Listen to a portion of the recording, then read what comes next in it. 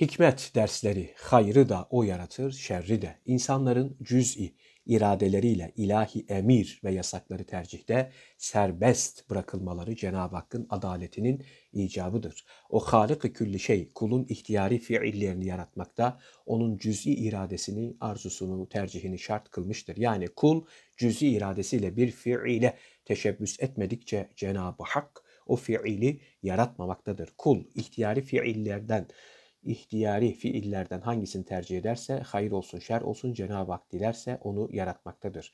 Bir padişahın misafirhanesinde bulunduğunuzu, bu misafirhanenin her katında ayrı ayrı nimet ve ihsanların sergilendiğini ve bir hikmet için ve bir hikmet için bodrum katının zehirli hayvanlarla dolu olduğunu farz ediniz ve yine padişahın sizi üst katlardaki ziyafet yerlerine davet ve teşvik, alt kata inmekten ise men ettiğini kabul ediniz. Siz bu misafirhanenin asansörüne bindiğinizde istediğiniz katın düğmesine basabilirsiniz.